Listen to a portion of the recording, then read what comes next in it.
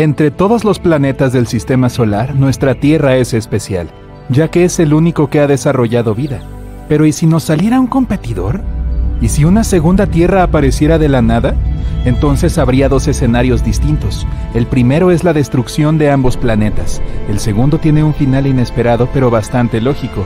Pero empecemos por el escenario catastrófico. La segunda Tierra con las mismas condiciones solo podría existir si recibiera absolutamente la misma cantidad de luz solar que nuestro planeta. La órbita que sigue a la Tierra es perfecta para recibir la cantidad necesaria de calor solar.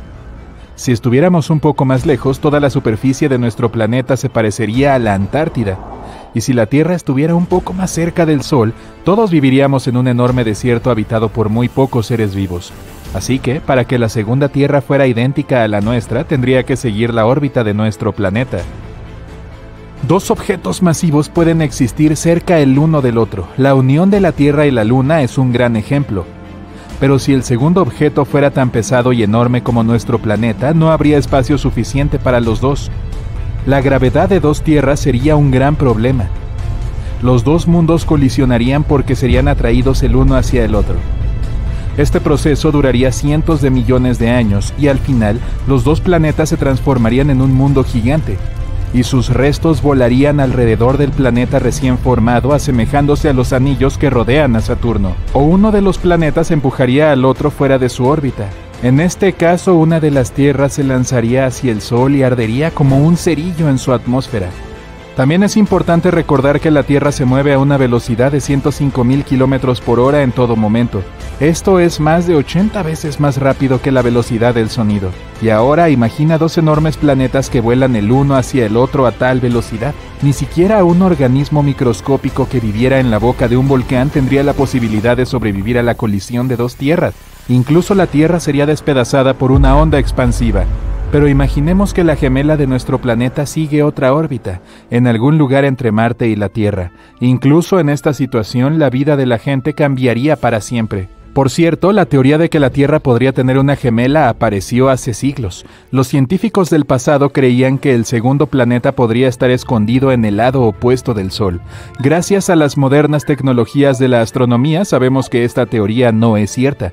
De lo contrario, nuestros telescopios y otros equipos ya habrían captado algunas señales de este planeta. Los científicos estudian objetos espaciales a miles de años luz de nosotros, así que sin duda se darían cuenta de la existencia de otro mundo en el vecindario. Pero bueno, imaginemos que la segunda Tierra existe y que la hemos descubierto recientemente.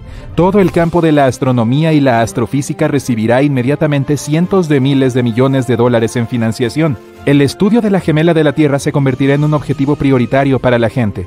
Los expertos plantearán cientos de hipótesis sobre el aspecto de la segunda Tierra y lo que ocurre en ella. El planeta está casi a la misma distancia del Sol que nosotros. Esto significa que el clima debe ser el mismo ahí. Pronto los científicos descubren que el doble de la Tierra tiene agua líquida y continentes, pero no son como los nuestros. Sus formas y ubicación son diferentes. Lo más probable es que ahí también haya vida. Pero, ¿cuál es su origen? Existe la hipótesis de que la vida en nuestro planeta apareció gracias a los aminoácidos traídos por un meteorito. Es muy probable que lo mismo haya ocurrido en otro mundo. Lo más probable es que la vida haya surgido ahí de una manera completamente distinta. Tal vez los peces no salieron del agua en ese planeta, y las primeras criaturas inteligentes aparecieron en el océano. Podrían ser anfibios con escamas y aletas o monstruos parecidos a pulpos con enormes tentáculos. Los peces de la segunda tierra podrían haber salido del agua y tener extremidades, pero ¿y si no les gustara caminar por el suelo? Entonces este mundo podría estar habitado por aves inteligentes, o la vida podría haberse originado en las profundidades del suelo. Entonces la evolución crearía topos humanoides o gusanos muy desarrollados.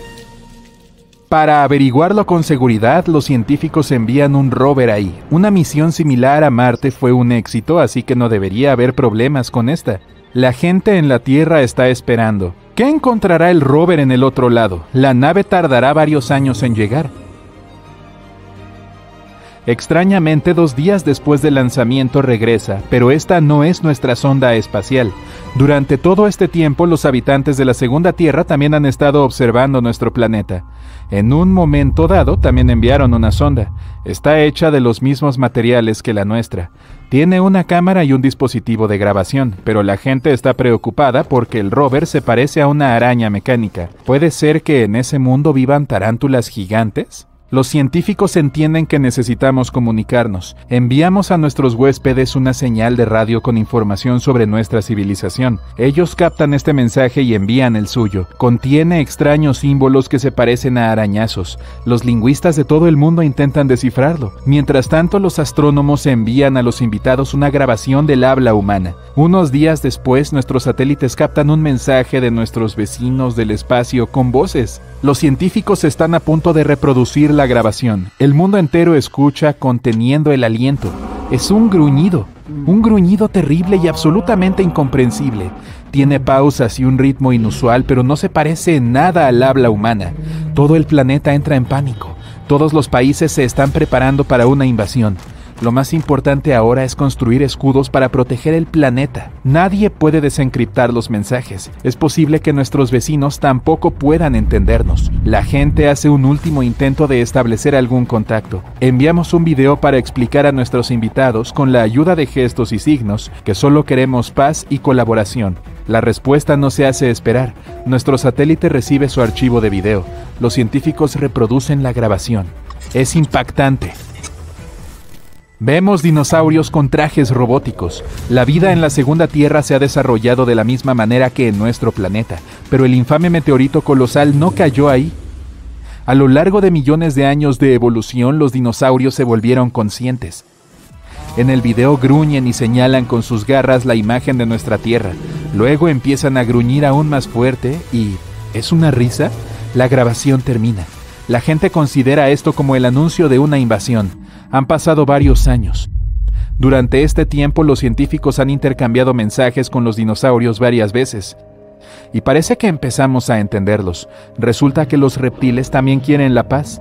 Dicen que su planeta estuvo una vez habitado por humanoides similares a los humanos, pero una inundación masiva los eliminó los dinosaurios lograron sobrevivir y evolucionar hasta convertirse en seres inteligentes. Pasarán muchos años antes de que la gente ponga un pie en su planeta, y cuando esto ocurra, la humanidad se sentirá aliviada al darse cuenta de que no estamos solos. Pero, ¿y si no hubiera vida inteligente en la segunda Tierra? ¿La gente también sería feliz? Sabríamos que siempre tendríamos otro hogar, o comenzaríamos a extraer sus recursos para reponer los nuestros. En cualquier caso, nuestras vidas no cambiarían inmediatamente porque esa Tierra estaría demasiado lejos de nuestro planeta. Pasarían decenas de generaciones antes de que la gente empezara a asentarse en la segunda Tierra.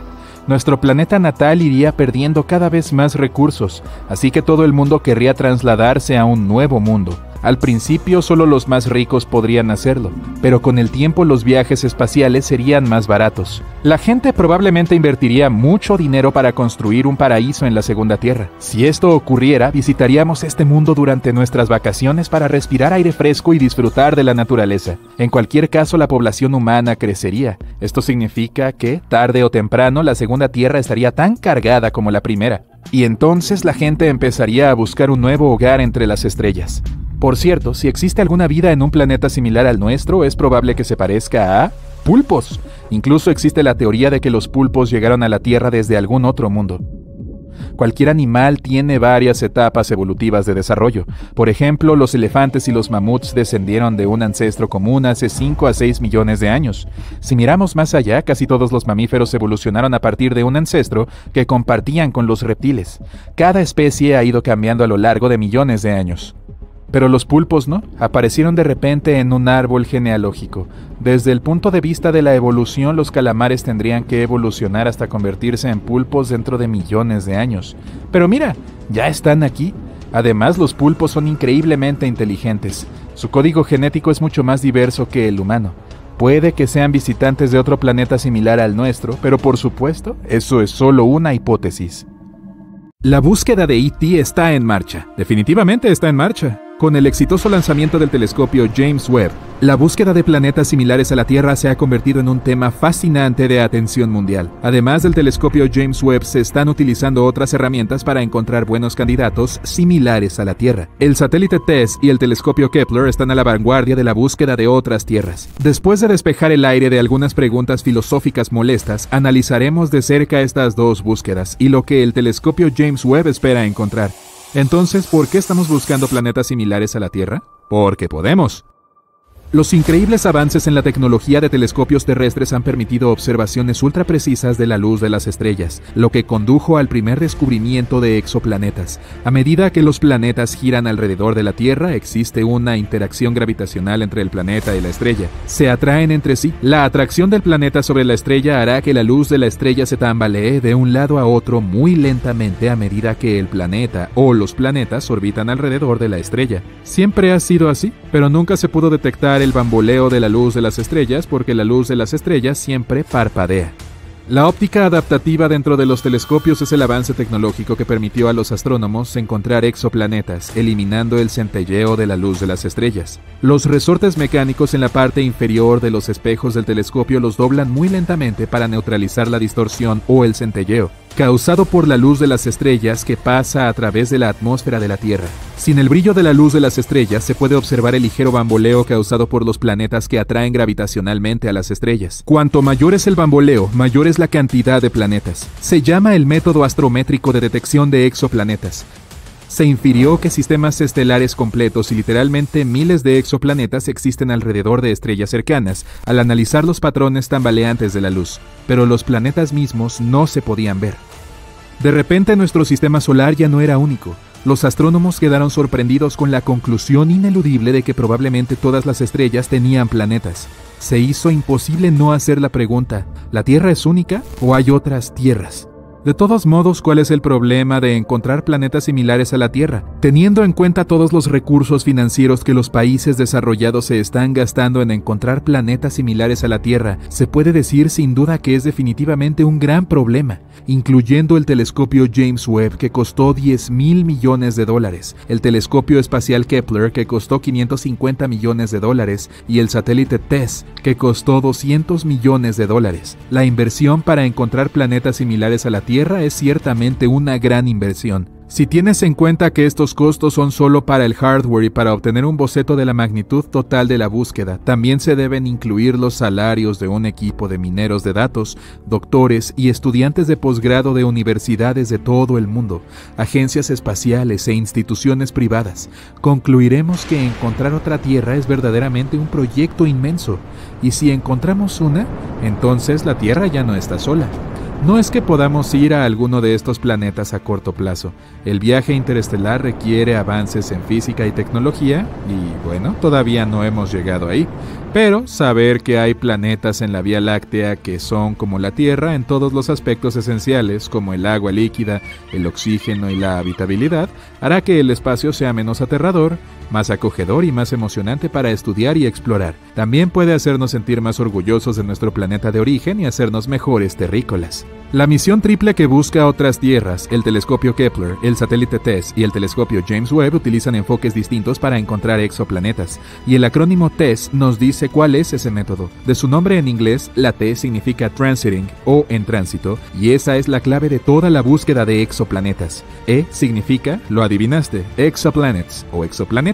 El objetivo de esta investigación. S significa survey o sondeo porque TESS observa cientos de miles de estrellas cercanas y la S significa satellite, satélite en español, porque TESS está orbitando la Tierra, a diferencia del telescopio espacial James Webb que orbitará el Sol. Cuando un planeta pasa frente a una estrella, eso se llama tránsito. El planeta bloqueará parte de la luz proveniente de la estrella. Esta disminución u oscurecimiento de la estrella puede medirse. La atenuación de la luz de las estrellas dice muchas cosas sobre el planeta. Al saber qué tan brillante es la estrella y cuánto se atenuó la luz por una transición frente a la estrella, podemos decir qué tan grande es el planeta o qué tan cerca está, pero no sabremos cuál, si es grande o está cerca, hasta que también se cronometre la órbita del planeta. Significa que nuestro satélite TESS debe tomar videos de larga duración de las estrellas. Videos de las estrellas. A Hollywood le debería gustar eso. El satélite TESS no tiene telescopio. Utiliza cuatro cámaras CCD para transmitir videos en vivo de larga duración de tantas estrellas como sea posible. Cientos de miles de estrellas. ¿Por qué tantas? Porque para que se observe el tránsito de un planeta debe pasar directamente entre las cámaras del satélite TESS y la estrella. Si un planeta no está en el ángulo exacto de la línea de visión entre la estrella y la cámara de TESS, no se puede ver porque no cortará la luz de la estrella. Los tránsitos planetarios son raros. Por ejemplo, Venus pasa a través de la vista de la Tierra al Sol solo cada 200 años. Sin embargo, las cámaras de TESS ven muchos tránsitos planetarios entre los cientos de miles de estrellas de las que transmite videos de larga duración. Y ya sabes lo que eso significa. Significa que debe haber cientos o miles de veces más planetas que los observados por el método de tránsito. Es, por tanto, una conclusión ineludible que toda estrella tiene planetas. Los planetas están en todas partes. Y ahora, El telescopio espacial James Webb, con su espejo gigante de 6,5 metros de ancho, está entrando en la búsqueda. Es una maravilla tecnológica, una maravilla del mundo moderno, un milagro de la ingeniería avanzada. La expectativa está llegando a un punto álgido, pero con mayor expectativa viene una cantidad casi igual de temor. Y algunas cosas aún pueden salir mal. Antes de que el telescopio espacial James Webb envíe sus primeras imágenes, después del lanzamiento del telescopio espacial Hubble, por ejemplo, en 1990, se tuvo que lanzar una misión de reparación en 1993. El espejo del Hubble no se inspeccionó muy bien y sus imágenes eran muy borrosas. Los astronautas tuvieron que cubrir y ejecutar una espectacular caminata espacial para arreglar el espejo. Después de la corrección, las imágenes que envió el Hubble fueron más precisas de para lo que fue diseñado. Así apareció un modelo mejorado. Eso no puede suceder con el telescopio James Webb. El telescopio espacial Hubble orbita la Tierra y es accesible para los astronautas. El telescopio espacial James Webb orbita alrededor del Sol y está mucho más allá de la Luna. Fuera del alcance de los astronautas porque no hay una nave espacial equipada para llevarlos ahí. No se puede arreglar manualmente si algo sale mal. Además de los desafíos, el telescopio espacial James Webb tiene solo una cámara a bordo para inspeccionar cualquier daño que pueda sufrir o fallas mecánicas que puedan desarrollarse en el duro entorno del espacio interplanetario. Cualquier arreglo remoto debería hacerse a ciegas desde la Tierra. El telescopio espacial James Webb ahora está completamente desplegado. Los 18 segmentos del espejo deberán estar alineados para producir una sola imagen. Este proceso de importancia crítica tardará varios meses en completarse una vez que el telescopio esté completamente desplegado. 70 de las primeras 286 asignaciones de observación del telescopio apuntan a exoplanetas. Usando datos de búsquedas anteriores de exoplanetas, no tendrá que perder el tiempo buscando exoplanetas. Sus ubicaciones y órbitas ya se conocen. El telescopio James Webb irá justo detrás de ellos. El telescopio espacial James Webb no es un telescopio óptico en el mismo sentido que el telescopio espacial Hubble o cualquier telescopio común que vea luz visible. Ve luz infrarroja. Se espera que las imágenes de los planetas sean puntos brillantes, algo borrosas si tienen atmósferas. Los espectros de los planetas proporcionarán la mayor cantidad de información sobre el exoplaneta. Cualquier gas alrededor de un exoplaneta absorberá parte de la luz de las estrellas a medida que la luz atraviesa la atmósfera del planeta. Supongamos que hay metano en la atmósfera del planeta, oxígeno o dióxido de carbono, los gases que más indican vida. En este caso, el telescopio James Webb podrá captarlos mediante análisis espectroscópicos. Se puede formar un retrato completo del exoplaneta a partir de la información infrarroja. Sus datos de temperatura, contenido atmosférico, la probabilidad de agua líquida e incluso la probabilidad de vida, y eso sería un gran resultado. El telescopio espacial James Webb también tiene otras misiones que realizar. Está asignado para examinar la formación de estrellas y la formación de planetas en nebulosas en la Vía Láctea. Comprender cómo se forman los sistemas solares es parte de la búsqueda de otra Tierra. Al detectar la luz infrarroja, el telescopio espacial James Webb observará las galaxias más lejanas galaxias cuya luz visible queda bloqueada por el polvo y el gas. Estas galaxias distantes se formaron poco después del Big Bang. La formación de galaxias es una misión esencial para el telescopio James Webb. Estas galaxias más distantes se están acelerando tan rápido que la luz que emiten se extiende por debajo de la frecuencia del espejo visible, hacia el infrarrojo. El gran telescopio puede ver estas galaxias previamente invisibles. Esperamos aprender sobre la misteriosa energía oscura que está causando que el universo se expanda a una velocidad cada vez mayor. Hay muchas esperanzas de que el telescopio espacial James Webb amplíe significativamente nuestro conocimiento de este increíble universo en el que todos vivimos. 2022 y 2023 han sido años clave para el descubrimiento de nuevos mundos fascinantes. El año pasado, la NASA superó los 5.000 exoplanetas confirmados. La lista es increíblemente variada. Incluye supertierras rocosas, gigantes gaseosos como Júpiter, gigantes de hielo como Neptuno, etc. Y esto es apenas el principio Solo en nuestra galaxia podría haber más de un billón de exoplanetas. Pero la pregunta más importante es, ¿cuántos de ellos son habitables? Ya sabes, para nosotros, ¿hay algún planeta en esta lista que podría tener vida en él? ¿O que podría convertirse en un futuro hogar para nosotros? Por supuesto que los hay. Y en 2022-2023 encontramos hasta 5 de ellos. Así que abróchate el cinturón y agárrate para un viaje salvaje más allá de nuestro sistema solar. El primer planeta de nuestra lista es Wolf 1069b, una designación aburrida y estirada, así que simplemente lo apodaré Wolfie, porque, oye, ¿quién va a impedírmelo? ¿La NASA? Un nuevo estudio realizado por 50 astrónomos ha confirmado algo asombroso. Este exoplaneta, Wolfie, situado a solo 31 años luz de nosotros, podría ser un mundo rocoso. En otras palabras, teóricamente podría ser un planeta habitable. El equipo responsable del descubrimiento utilizó una técnica denominada velocidad radial para detectar el exoplaneta. Es una forma que tienen los científicos de estudiar los movimientos de las estrellas y los planetas. Es como si cuando jugaras a la pelota con un amigo, a medida que te la lanzara, pudieras ver cómo se acerca cada vez más. Es como la velocidad radial. Cuando un planeta se mueve hacia nosotros, hace que la estrella que orbita parezca acercarse. Cuando el planeta se aleja, también hace que la estrella parezca más distante. Los científicos pueden utilizar esta información para averiguar qué está haciendo el planeta y cuál es su tamaño, y así es como encontraron a Wolfie. Se calcula que este exoplaneta tiene el tamaño de la Tierra y aproximadamente un tercio de la masa de nuestro planeta. Orbita alrededor de una estrella enana roja a la que llamaré mamá de Wolfie. Pero aquí está el verdadero truco. Wolfie orbita dentro de la zona habitable de su estrella, lo que significa que es un candidato ideal para que exista agua líquida en su superficie. Es como ganar el premio gordo extraplanetario. Oh, ojalá tuviera un boleto. El estudio estima que si Wolfie tiene una atmósfera similar a la de la Tierra, las temperaturas podrían alcanzar casi 12 grados centígrados, lo que significaría que podría acumularse agua líquida en el lado diurno del planeta. Pero aquí está el truco. El exoplaneta está unido marealmente a su estrella, lo que significa que el mismo lado siempre está orientado hacia la estrella. Imagínate, un lado del planeta siempre está bañado por el calor de su estrella, mientras que el otro está en la oscuridad eterna, como en la secundaria. es broma.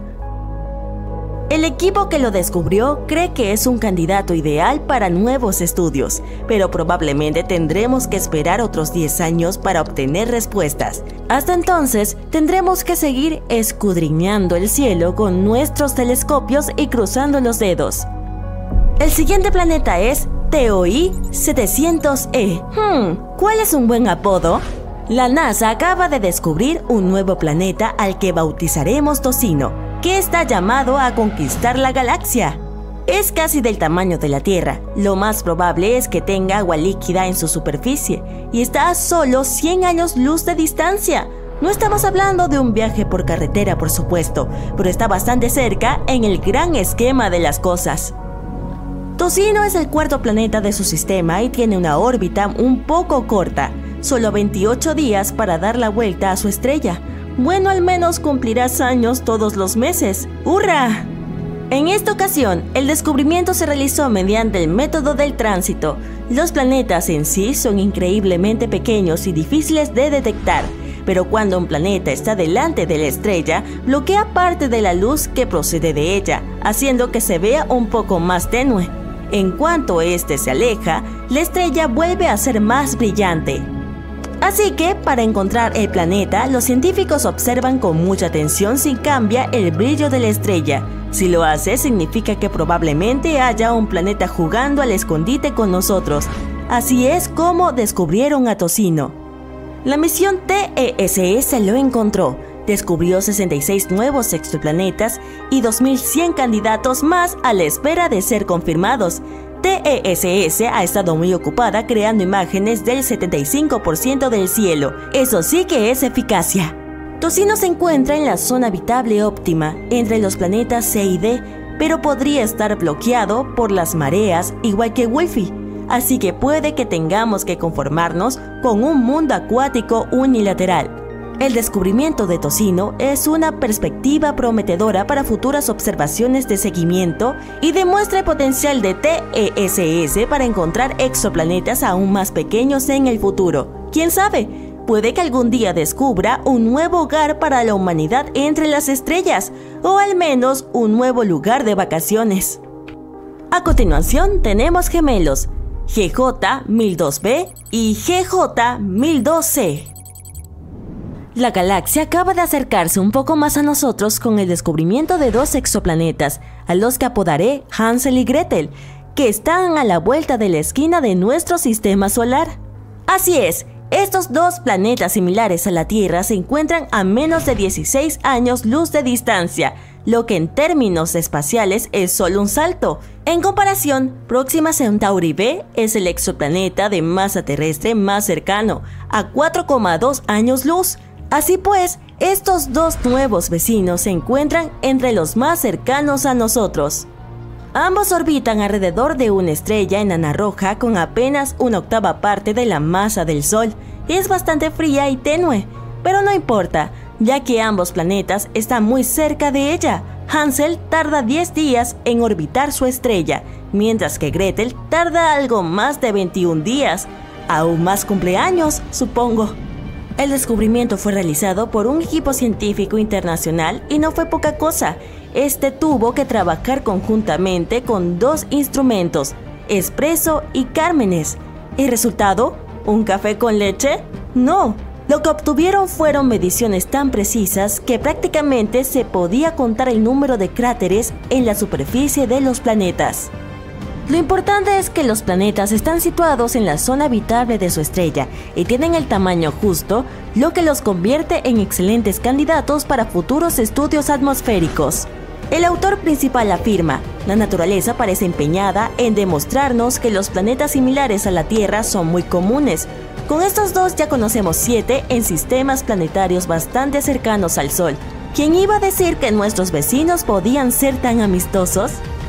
En conclusión, el descubrimiento de Hansel y Gretel es un paso gigante para la humanidad. Así que levantemos todos un vaso de H2O o lo que sea que beban en los exoplanetas y celebrémoslo. El último planeta de nuestra lista es LP890-9C, al que llamaré Bob. Esta supertierra, situada a unos 98 años luz, es aproximadamente un 40% mayor que nuestro planeta. Además tiene una gemela, a la que llamaré Rey, que es hasta un 75% más grande que la Tierra. Más espacio siempre es bueno, ¿verdad? Los dos planetas orbitan alrededor de la estrella enana roja. Por desgracia, Rey está bastante caliente al tacto, con una temperatura estimada de 123 grados centígrados, así que no lo toques. Su hermano Bob se encuentra en la zona habitable de su estrella, lo que lo convierte en el principal candidato para albergar vida. Pero recordemos que la temperatura real de los planetas depende de sus atmósferas. Es posible que Bob, al ser el planeta más exterior, tenga un efecto invernadero galopante que lo asemeje más a Venus que a la Tierra. Por lo tanto, podría ser demasiado caliente para ser habitable después de todo. Pero no perdamos aún la esperanza. El telescopio espacial James Webb, que se lanzó en diciembre de 2021, está en ello. Con su tecnología de punta y sus potentes instrumentos, incluidos espectrógrafos, puede observar las atmósferas de los exoplanetas y revelar cuáles podrían ser habitables. Veamos qué descubre. Este planeta ha sido catalogado como el segundo planeta terrestre de zona habitable más favorable. Ahora está en la lista con otros siete planetas similares a la Tierra, todos a unos 40 años luz de nosotros. Quizás se conviertan en nuestros nuevos hogares en el futuro. Quizá deberíamos arreglar el hogar que tenemos. Pero hasta entonces, disfrutemos de este momento y celebremos todos estos nuevos descubrimientos.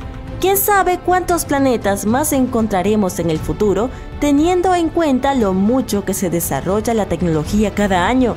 ¿Miles? ¿Millones? Mientras tanto, Bob y Ray, Hansel y Gretel, Tocino, Wolfie y su mamá, todos estarán ahí fuera esperándonos. Estás mirando el cielo nocturno ¡Wow! Durante gran parte de nuestra historia, hemos estado buscando vida entre esas estrellas y los planetas cercanos a ellas. Pero el espacio también tiene ojos, y hay alguien mirándonos. Quizá. Los científicos afirman que al menos 29 planetas distantes pueden estar observándonos en este momento. Así que peina tu cabello y sonríe. Hasta ahora hemos identificado al menos 1715 sistemas estelares vecinos en la Vía Láctea que pueden detectar nuestro planeta con telescopios convencionales. Estas estrellas están ubicadas en nuestra galaxia, por lo que si apuntaran sus telescopios a nuestro Sol, tarde o temprano verían un pequeño punto que pasa entre nuestra estrella de origen y el observador. A esto se le llama tránsito. Es un método para detectar planetas en astronomía. Por ejemplo, puedes observar los fenómenos del tránsito directamente en casa con un telescopio. Tienes que apuntar al Sol y esperar. Entonces verás a Mercurio. Ese es el planeta más cercano al Sol, y ahora lo ves como un pequeño punto. El proceso de tránsito de Mercurio puede durar unas 5 horas. Y este fenómeno ocurre unas 14 veces en un siglo. Podrías observar el próximo tránsito el 13 de noviembre del 2032. Marca tu calendario. Asimismo, puedes observar a Venus, el segundo planeta desde el Sol. Pero como está más lejos, sus tránsitos son menos frecuentes. El último fue en 2004 y 2012. El próximo par de tránsitos se esperan en 2117 y 2125. Bueno, creo que ya no estaré por aquí. Entonces, estos sistemas estelares tienen la oportunidad de observar nuestro planeta, pero los telescopios de largo alcance funcionan de manera un poco diferente. En realidad el observador no verá un punto negro con el Sol de fondo. El telescopio medirá el brillo de nuestra estrella. Cuando la Tierra comienza su tránsito entre el Sol y el observador, el telescopio registrará una ligera caída en el brillo de la estrella porque nuestro planeta bloqueará el camino de los rayos del Sol. Aquellos científicos lejanos de civilizaciones extraterrestres podrán calcular esta caída de brillo y determinar el tamaño de nuestro planeta. Pero no todos los más de 1700 sistemas estelares pueden tener vida extraterrestre. Los científicos lo han reducido a 29 planetas cerca de algunas de estas estrellas. Son potencialmente habitables. Eso significa que estos planetas tienen un tamaño similar al de la Tierra y están dentro de la zona habitable de su estrella anfitriona. Esto significa que no están demasiado cerca de la estrella, por lo que no hace demasiado calor para la vida potencial el agua no se evapora allí como en una olla hirviendo. Y no están demasiado lejos, por lo que no hace demasiado frío y el agua no se congela en gruesas capas de hielo. Y dado que el agua es la base de la vida, podemos suponer que una civilización podría existir allí. En teoría, estos planetas podrían haber visto tránsitos terrestres en los últimos 5.000 años. Entonces, mientras estábamos construyendo las pirámides de Giza o Stonehenge, una civilización extraterrestre puede habernos estado observando uno de estos planetas está a solo 11 años luz de nuestro hogar. Cerca de la estrella Ross 128, una enana roja en la constelación de Virgo, hay un exoplaneta de aproximadamente el doble del tamaño de la Tierra y justo en la zona habitable de su estrella anfitriona. Teóricamente, los habitantes de este planeta podrían ver la Tierra transitar por el Sol de forma regular durante 2000 años. Pero hace unos 900 años, el planeta perdió su posición y ya no puede continuar la observación. El otro planeta donde se puede ver la Tierra en tránsito está a 12,5 años luz de distancia, cerca de la estrella llamada T-Garden. La ventana para observar nuestro planeta se abrirá allí en unos 29 años. Apostamos fuertemente por el sistema de estrellas TRAPPIST-1. Alberga al menos 7 exoplanetas, casi como nuestro sistema solar. y cuatro de ellos están en la zona habitable de la estrella. Pero no podrán comenzar a observar la Tierra hasta dentro de 16 siglos. Pero podemos intentar hacer contacto con estos planetas ahora mismo. Todos están lo suficientemente cerca de nosotros para captar nuestras señales de radio. Las ondas de radio pueden viajar por el espacio a la velocidad de la luz, y nuestro planeta ha estado emitiendo señales de radio continuamente desde 1895. Así que somos como vecinos ruidosos en el espectro de radio. Si hubiera un planeta en algún lugar con una civilización inteligente a 125 años luz de nosotros, nuestro ruido de radio ya los habría alcanzado. El único problema es que se necesitaría aproximadamente el mismo tiempo para obtener una respuesta de esa civilización. El otro problema de la radio es que cualquier civilización la usa durante un periodo relativamente corto. Incluso ahora en la Tierra usamos Bluetooth y fibra óptica más que radio, excepto tal vez por los informes de tráfico. Y con el tiempo, todo el ruido de radio que creamos simplemente desaparecerá. Además, la comunicación por radio asume que una civilización extraterrestre está lo suficientemente avanzada como para usar esta tecnología. Pero, quién sabe, tal vez haya formas de vida en el espacio que sean realmente diferentes a las nuestras. Nuestras señales de radio ya podrían haber llegado a ese planeta, pero sus habitantes simplemente no son capaces de recibirlas. Y en el momento en que estas formas de vida construyan antenas para recibir la señal, ya no las emitiremos. Pero no perdemos la esperanza e incluso enviamos señales de radio encriptadas al espacio para comunicarnos con civilizaciones extraterrestres. En 1974 enviamos el mensaje de Arecibo al espacio interestelar. Si alguna civilización puede descifrarlo, obtendrán un rectángulo como este. Tiene toda la información sobre la humanidad. En la parte superior está nuestro sistema numérico, luego los números atómicos y después nuestro ADN, que se muestra a continuación. Luego un ser humano en sí mismo, por supuesto. A continuación se muestra un diagrama de nuestro sistema solar. La Tierra, el tercer planeta desde el Sol, está ligeramente elevada. Así es como la civilización extraterrestre entenderá de qué planeta vino este mensaje. Luego se muestra un diagrama del propio radiotelescopio de Arecibo. Otra opción de cómo enviar un mensaje a un planeta distante es enviar literalmente una entrega de correo allí. Podría ser una sonda espacial. Y ya lo hemos hecho. Se trata de las Voyager 1 y 2. Fueron lanzadas en 1977 y todavía están operativas. En 2012, la Voyager 1 se convirtió en el primer objeto creado por humanos en el espacio interestelar. Viaja a estrellas distantes y lleva un mensaje escrito en un disco de oro. El disco contiene saludos en 55 idiomas terrestres, mucha música de diferentes partes de nuestro planeta, sonidos diversos como el ruido del océano, voces humanas y sonidos de animales.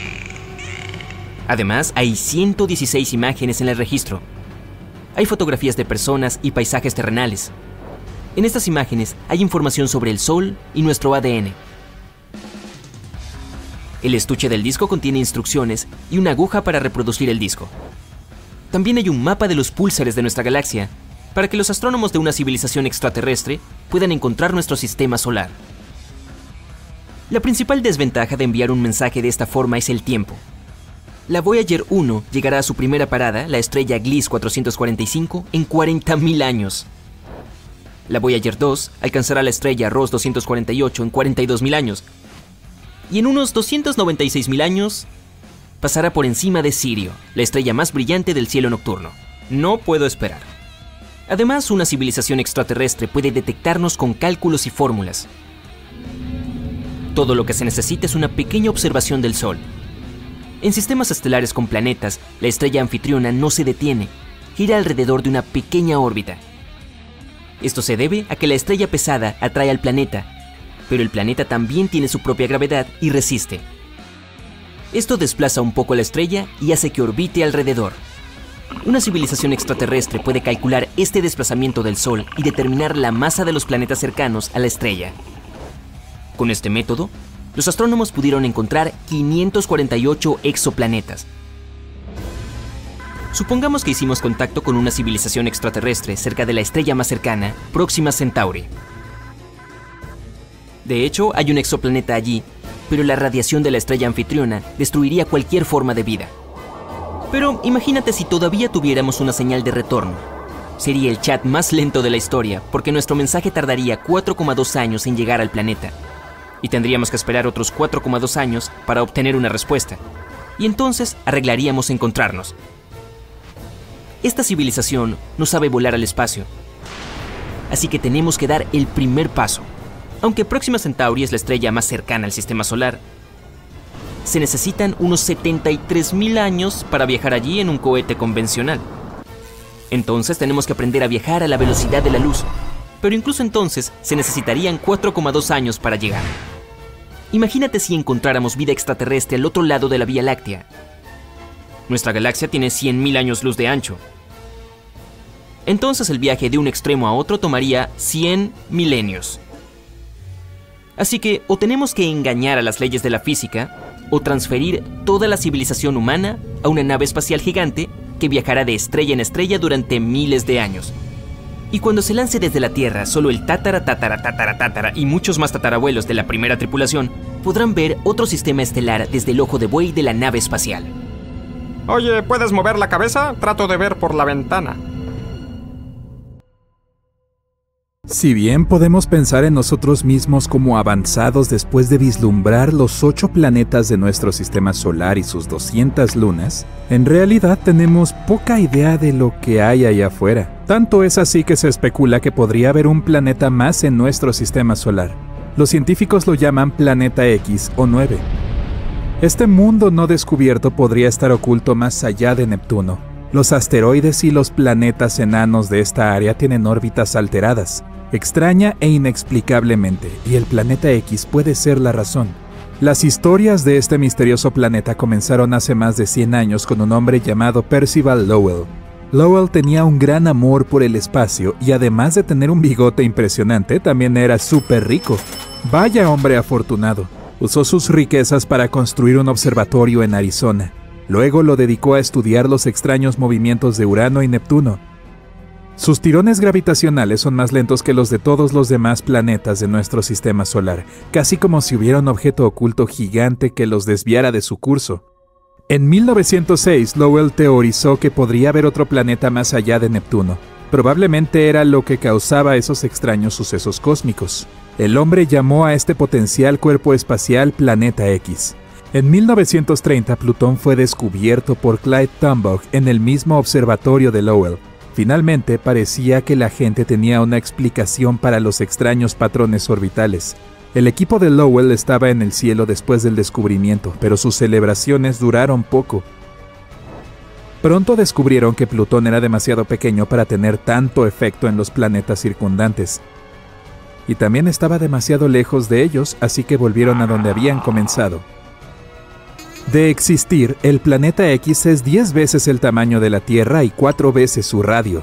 El planeta tardaría al menos 10.000 años en orbitar alrededor del Sol y se ubicaría 200 veces más lejos que nuestro planeta de origen. Eso es 600 unidades astronómicas desde el centro del sistema solar. Para tu información, una unidad astronómica equivale a la distancia entre la Tierra y el Sol, pero si bien eso suena muy lejano, en realidad no lo es. La distancia entre los cuerpos espaciales generalmente se mide en años luz y una unidad astronómica es una unidad de medida mucho más pequeña. Para darte contexto, lo más distante detectado de la Tierra es la galaxia GNZ11. Lindo nombre, ¿eh? Se encuentra a unos asombrosos 32 mil millones de años luz de distancia. Aún así, nuestros telescopios pueden detectarla. Y solo un año luz es lo mismo que 63.241 unidades astronómicas. Uf, entonces si nuestra tecnología puede detectar una galaxia que está tan lejos, ¿cómo es que no hemos podido descubrir el planeta X? Bueno, probablemente se deba al hecho de que es posible que ni siquiera exista. La teoría del planeta X fue prácticamente desacreditada en 1989 se descubrió que los misteriosos tirones gravitacionales de Neptuno habían sido una pista falsa desde el principio. Los científicos habían calculado erróneamente cuán grande era realmente Neptuno. La Voyager 2 visitó el planeta y descubrió su tamaño real. Esta nueva información explica los extraños tirones gravitacionales, lo que significa que no fueron causados por el llamado planeta X. Pero ahí no es donde nuestra investigación termina, ya que el hipotético noveno planeta apareció una vez más hace unos 10 años. Si bien la evidencia detrás de la teoría de Lowell era incorrecta, su creencia en el planeta X puede que no lo fuera. En 2015 los astrónomos Michael Brown y Konstantin Batygin descubrieron que, de hecho, había fuerzas gravitacionales inexplicables en juego más allá de Neptuno. Hay satélites que orbitan planetas perpendicularmente, lo que no ocurre en ningún otro lugar de nuestro sistema solar. También hay grupos de asteroides que se mueven de formas muy específicas, tan específicas que es básicamente imposible que pueda ser aleatorio. Algo aún más extraño, hay satélites que viajan en una dirección completamente opuesta al Sol. A diferencia de la mayoría de las otras cosas en el sistema solar, un planetoide llamado Setna también parece estar siendo atraído hacia algo, junto con otros seis, todos yendo en la misma dirección. Y Brown y Batygin no son simplemente simples observadores de estrellas. Ambos son científicos muy respetados que están en la cima de su juego. Konstantin Batygin ha sido nombrado en Forbes como uno de los 30 científicos que están cambiando el mundo y Mike Brown fue el hombre que rebautizó a Plutón como un planeta enano. Esto significa que cuando estos chicos dicen algo suele ser bastante legítimo y probablemente deberíamos escucharlos. Pero la única forma en que realmente podemos probar que el planeta X existe es encontrándolo. Y esto resulta ser bastante difícil. Para localizar el planeta necesitaríamos utilizar un método llamado fotometría de tránsito. Es básicamente cuando monitoreamos un montón de estrellas durante mucho tiempo y buscamos cualquier caída en la luz que emiten. Estas caídas probablemente serían causadas por un planeta que se interpone en el camino y ¡tatán! La existencia del planeta X podría probarse. Pero para que este método funcione, la Tierra, el nuevo planeta y el Sol deben estar perfectamente alineados. Estas circunstancias son bastante raras y si estas condiciones no se dan, la caída de la luz no se producirá. Además, este método solo funcionaría realmente con planetas que estén más cerca del Sol que nuestra Tierra. Eso es Venus y Mercurio. Para cualquier cosa más allá de la Tierra, esta técnica es bastante inútil. Otra técnica que podríamos utilizar es encontrar el planeta potencial a través de un buen telescopio antiguo, pero como puedes imaginar eso es increíblemente complicado. El objeto más lejano que hemos encontrado en nuestro sistema solar es un planetoide llamado Far Far Out, pero eso está a solo 140 unidades astronómicas del Sol. Eso es solo una cuarta parte del camino hacia el planeta X.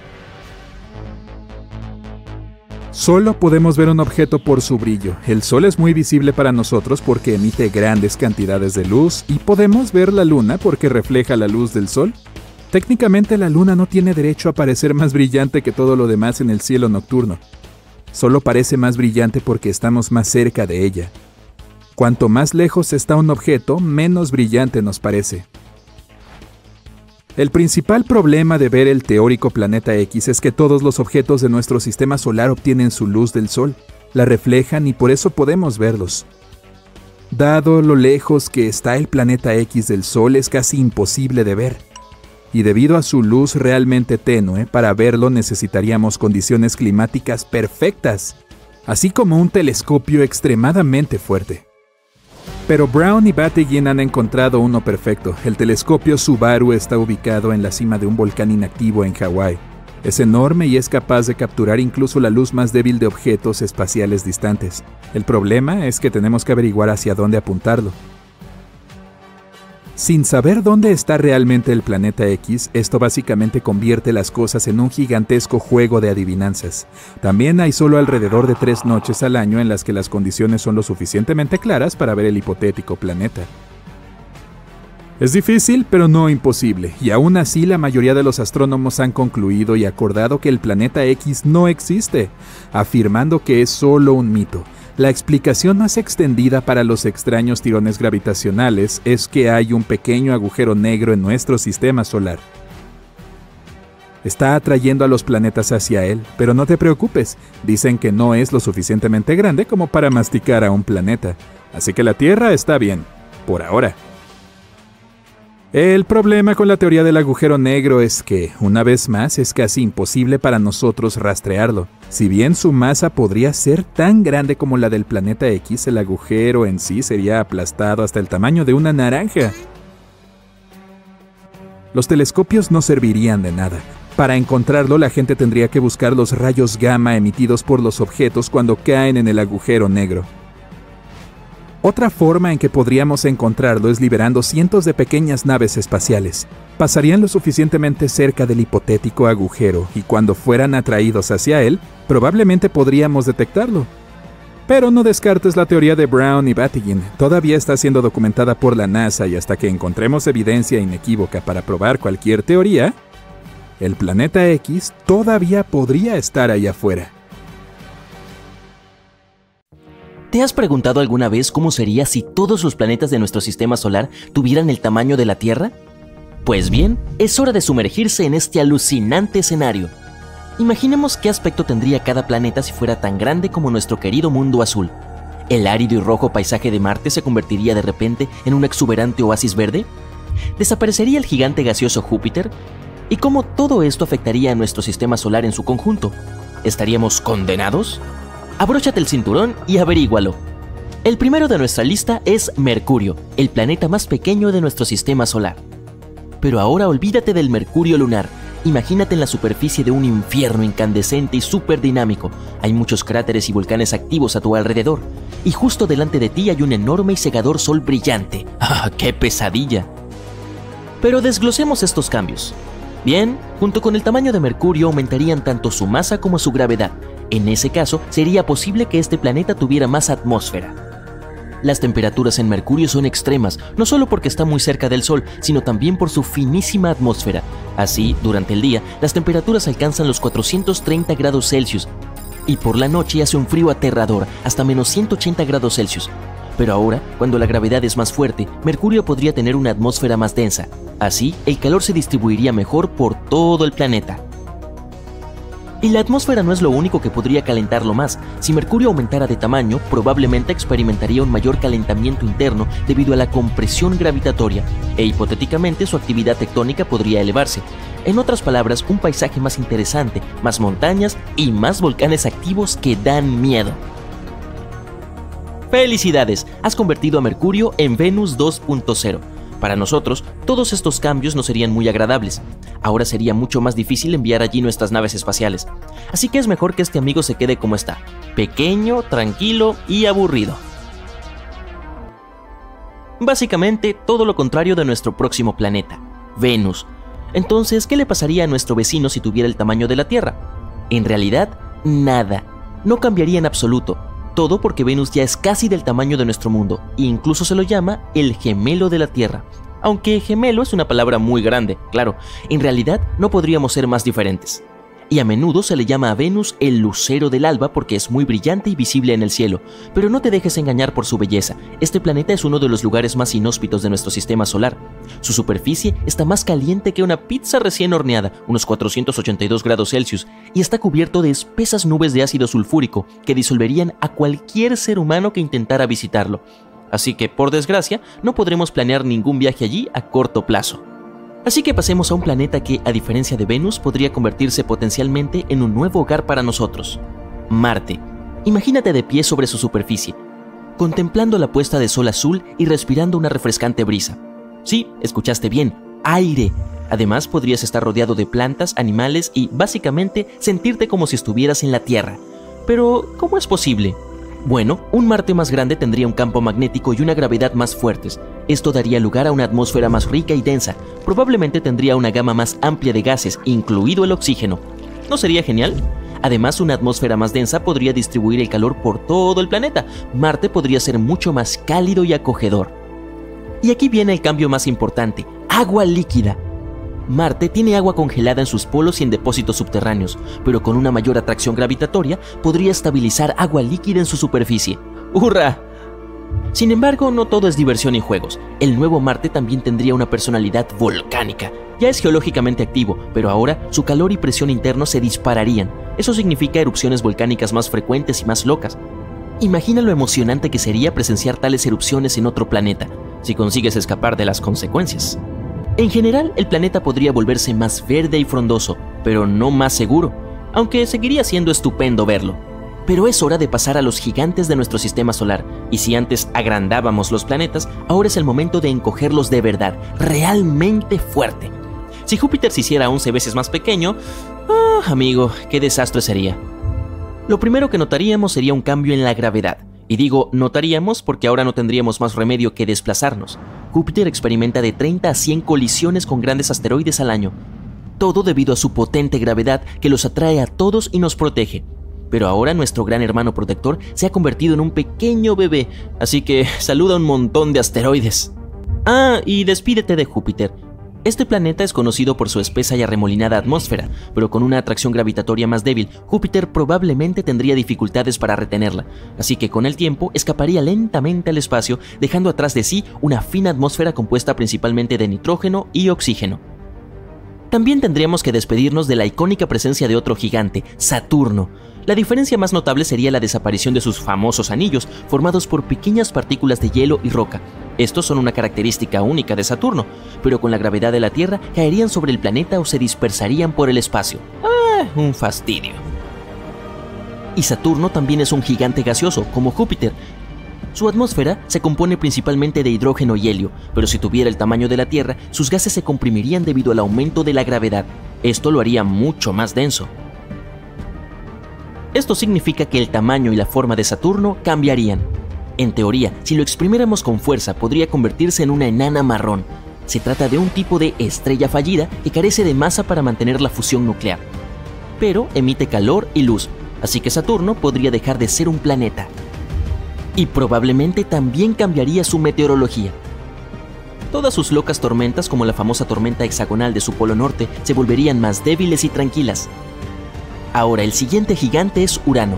Intentemos comprimirlo, en primer lugar, su gravedad superficial sería mucho más débil que ahora, su atmósfera también podría cambiar. Si Urano fuera más pequeño, podría tener una atmósfera más fina y gases totalmente diferentes. Y es que este planeta es bastante frío, con una temperatura media de menos 214 grados Celsius. Pero si fuera del tamaño de la Tierra, podría calentarse un poco debido a su reducida relación volumen-área de superficie. Sin embargo, no te emociones demasiado, seguiría siendo mucho más frío que los lugares más helados de la Tierra. Como puedes ver, los gigantes gaseosos no pasarían fácilmente por todo este encogimiento, excepto quizá uno de ellos. Sorprendentemente, el pequeño Neptuno sería mucho más amigable. Para empezar, probablemente sería un planeta rocoso con una atmósfera diminuta. Eso significa que ya no sería un gigante gaseoso, sino un planeta en el que los humanos y las criaturas podrían vivir y moverse con más facilidad. Y hablando de movimiento, Debido a su menor tamaño, la gravedad de este nuevo Neptuno sería casi la misma que la de la Tierra, lo que haría mucho más fácil caminar y saltar. Se acabó flotar en el espacio. Ahora bien, la atmósfera del Neptuno original es tan espesa que apenas podrías ver tu mano delante de tu cara, y la presión superficial es unas 100 veces la de la atmósfera terrestre. Pero nuestro nuevo Neptuno sería muy diferente, con una atmósfera mucho más delgada y menos densa. Seguiría teniendo algo de metano, agua y amoníaco, pero ni de lejos tanto como antes. Por último, la temperatura. el Neptuno actual está helado, con una temperatura media de unos menos 223 grados Celsius, pero si tuviera el mismo tamaño que la Tierra, probablemente sería mucho más cálido, como Urano. Ah, eso está mejor. Vaya mundo sería. Ok, hasta aquí los cambios en los planetas, pero ¿qué pasaría con todo el sistema solar si hiciéramos todos los planetas tan pequeños? Es difícil de predecir, pero está claro que su gravedad y sus órbitas podrían cambiar mucho. Sería poco probable que alguno de ellos saliera volando hacia el espacio exterior o chocaran entre sí, o algo similar, pero muchas de sus órbitas probablemente se volverían bastante inestables y el número de colisiones con asteroides aumentaría considerablemente. Por supuesto, todo esto es pura especulación, no es como si realmente pudiéramos probar todo, pero sigue siendo un experimento bastante interesante y te hace apreciar lo único y especial que es nuestro sistema solar. ¿Has pensado alguna vez en la Tierra como una criatura inteligente? Bueno, no como una criatura, sino como una entidad, como si tuviera una mente y algunos instintos de supervivencia propios. Dicho así, suena como si estuvieras a punto de ver una película de fantasía en la que el planeta en el que caminamos y vivimos nuestra vida diaria se despierta de repente, se da cuenta de que no le gustamos tanto después de todo y se vuelve loco. Oye, espero que eso no suceda. Pero no estamos hablando realmente de tales escenarios, sino más bien de la idea de que la actividad colectiva de la vida, como microbios y plantas, puede cambiar un planeta y darle vida propia. Es como si el planeta tuviera una mente verde. La metáfora de la Tierra como un planeta vivo tiene sentido. Todo tipo de criaturas se arrastran, nadan, caminan y vuelan por las capas superiores de nuestra Tierra, océano y cielo. Las plantas cubren gran parte de nuestro mundo y además hay virus y bacterias en el agua, el suelo e incluso la atmósfera. Ahora imagina a todos los seres vivos de la Tierra como plantas, animales y microbios, como un equipo gigante que trabaja en conjunto. Tienen funciones diferentes, pero todos hacen lo suyo para que el planeta sea un lugar mejor para vivir. Por ejemplo, las plantas producen el oxígeno que respiramos y los animales ayudan a polinizar las flores. Juntos forman la biosfera, que es como el equipo de la vida de la Tierra. Ahí es donde la idea de inteligencia planetaria surge. Al igual que los individuos y los grupos pueden ser inteligentes, también puede serlo un planeta entero. Investigadores creen que deberíamos medir la inteligencia de nuestro mundo por su capacidad de mantenerse a sí mismo para siempre. Y al igual que los seres humanos necesitan trabajar juntos para sobrevivir, la inteligencia colectiva de un planeta se mide por la capacidad de toda la vida que hay en él para trabajar juntos hacia este mismo objetivo. Es como si el mundo fuera un sistema complejo que sabe cuidarse a sí mismo, como los bosques. Pueden compartir nutrientes a través de sus redes secretas subterráneas de hongos. Esto ayuda a todos los árboles a mantenerse sanos. Obviamente podemos aprender mucho de los bosques. Si saltáramos al universo fantástico en busca de planetas inteligentes y conscientes, elegiríamos sin duda a Mojo, de Linterna Verde. Es una entidad planetaria específica que puede hacer cosas como cambiar su clima y alterar la gravedad, el crecimiento de las plantas o algunas otras condiciones de la superficie. ¿O qué te parece la impresionante Pandora de Avatar? ¿Recuerdas las fascinantes escenas de flora y fauna que allí aparecen con órganos que podrían recordarte a tentáculos? Permiten a las criaturas interconectarse entre sí a nivel neuronal. Es como si todo el planeta fuera un cerebro gigante con muchos árboles más pequeños, criaturas y demás piezas como células. Estamos lejos de eso, pero sigue siendo bonito imaginarlo. De momento, nuestra civilización se encuentra en la fase que los científicos denominan tecnósfera inmadura. Eso significa que todavía estamos demasiado centrados en el uso de una tecnología que no siempre es buena para nuestro planeta. No tenemos una inteligencia planetaria o una comprensión colectiva de lo que hay que hacer para mejorar nuestro mundo. En lugar de eso, cada uno va a lo suyo, aunque no estamos en la peor etapa investigadores han ideado cuatro etapas del pasado y el futuro de la Tierra para explicar cómo la inteligencia planetaria podría influir a largo plazo en la humanidad. La primera etapa es la que llamamos la biosfera inmadura. Es cuando empezó la vida en la Tierra hace miles de millones de años. Solo había microbios en la Tierra desnuda, sin vegetación. No había ninguna retroalimentación global, lo que significa que estos microbios aún no podían afectar al planeta, su atmósfera u otros sistemas de ninguna manera. La segunda etapa es la biosfera madura. Hace entre 2.500 millones y 540 millones de años, cuando se formaron continentes estables y la biosfera empezó a ejercer una fuerte influencia sobre la Tierra. La tercera etapa, conocida como tecnósfera inmadura, es donde nos encontramos ahora, con sistemas interconectados de comunicación, tecnología, transporte, electricidad e informática que extraen recursos de la Tierra y afectan a la biosfera. La cuarta etapa, también conocida como la tecnósfera madura, es a la que la Tierra debería aspirar a estar en el futuro. Significa que la tecnología beneficiará a todo el planeta. Utilizaremos formas sostenibles de energía como la solar. La inteligencia planetaria es el signo de un planeta maduro y los investigadores intentan averiguar cómo podemos avanzar hacia eso. Así que las cosas que hacemos a nivel individual sí importan la actividad colectiva de la vida, como los microbios o las plantas, pueden cambiar un planeta y convertirlo en algo más que una roca sin vida flotando en el espacio. Gracias a la biosfera, nuestro planeta descubrió cómo albergar vida por sí mismo hace miles de millones de años y sigue haciéndolo. Ahora tenemos que encontrar la manera de tener un sistema similar de automantenimiento, pero esta vez con la tecnósfera. Es difícil imaginar que los planetas puedan llegar a ser sensibles en general, como Pandora o algún otro mundo consciente e imaginario de allá afuera. Hay varias razones para ello. Primero, los planetas se forman en función de cómo los diferentes materiales como rocas, gases y líquidos se reúnen alrededor de una nueva estrella. Es como una gran reunión familiar en la que todos aportan distintos ingredientes para preparar un plato delicioso. Al igual que estos ingredientes no se convertirán de repente en un ser vivo, los materiales que componen un planeta no se transformarán sin más en criaturas conscientes de sí mismas. En la Tierra, tras miles de millones de años de complejas reacciones químicas, algunas moléculas empezaron a replicarse y a transportar información. Así empezó la vida en nuestro mundo. Y la Tierra es el único ejemplo que tenemos. Imagina que tienes un gran jardín en el que plantas un montón de setas o bacterias con la esperanza de que se vuelvan muy inteligentes y te ayuden a cuidar el lugar. Pero las setas y las bacterias no tienen cerebro como nosotros. Tampoco es que lo necesiten. Tener un cerebro grande también es muy caro para los animales. Se necesita mucha energía para mantenerlo en funcionamiento. Por eso, ellos solo llegan a ser inteligentes como lo necesitan para sobrevivir y prosperar en su entorno. Los perros y los gatos son muy inteligentes porque necesitan evitar los peligros y encontrar comida. No necesitan la inteligencia humana para construir casas, crear arte o inventar nuevas tecnologías. Así que sería difícil llevar a todos los seres vivos y plantas al mismo nivel de inteligencia. La tercera razón por la que sería difícil que un planeta se volviera sensible es la regla principal del reino animal. La vida se basa en la supervivencia del más fuerte. Todas las criaturas compiten por recursos como el agua, la comida y el espacio.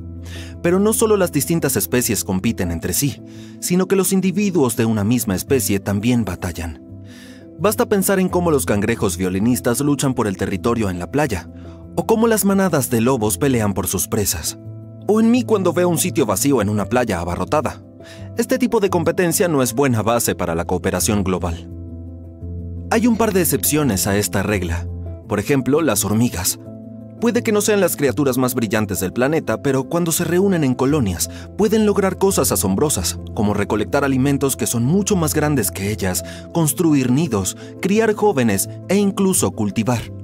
De hecho, actúan como un superorganismo llamado mente colmena, en el que todas las hormigas trabajan juntas por un objetivo en común. Insectos como las abejas y las hormigas son muy altruistas y trabajan juntas para garantizar la reproducción de su reina. Si una gran colonia de hormigas se apodera de todo nuestro planeta, podría actuar como una sola mente y trabajar en pro de los intereses de la colonia y del planeta hasta que se quedaran sin recursos. Pero en realidad es difícil imaginar que cualquier organismo, incluso superorganismo, pueda alcanzar tal nivel de autoconciencia y conciencia. Número 5. ¿Cómo podríamos mantenernos en contacto? Para comunicarse, las hormigas utilizan las feromonas y los humanos los nervios. Ambos métodos funcionan bien para organismos pequeños, pero cuando se trata de una entidad gigante del tamaño de un planeta, sería difícil que esa comunicación fuera rápida y eficaz. Así, la comunicación dentro de una entidad del tamaño de un planeta sería mucho más lenta que la que tenemos en nuestros hogares, como nuestros ordenadores o smartphones. Ah, bueno, en fin, seguiremos soñando con Pandora.